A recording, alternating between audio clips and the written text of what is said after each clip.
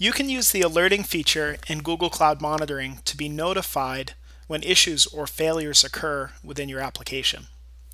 To create your first alerting policy, look for the Create Alerting Policy button on your dashboard or via the alerting menu at the top of the screen.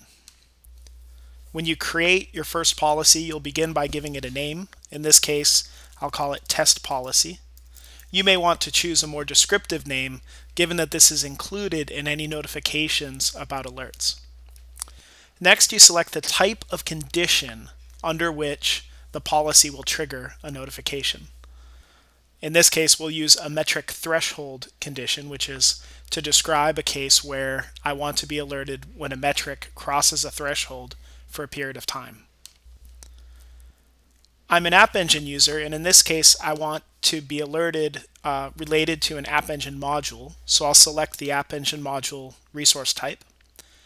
And I'm concerned with a single module, so I'll say uh, single, and then I'll choose the module for the policy. In this case, it's the comments module. I click next, then I select the metric that I want to evaluate.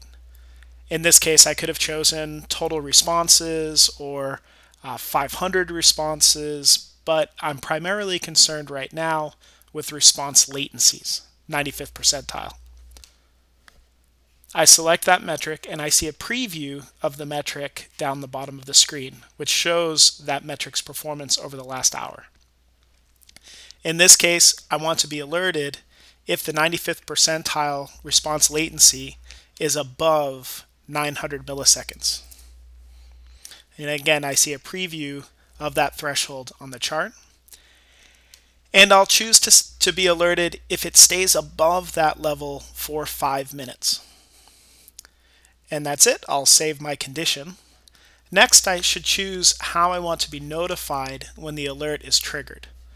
I can be notified via email, SMS, or popular services such as PagerDuty, HipChat, Campfire, or Slack. In this case, we'll choose email, and I simply enter the email address and then save the alert. Now I'll be notified if my 95th percentile latency for my comments module exceeds the threshold for five minutes.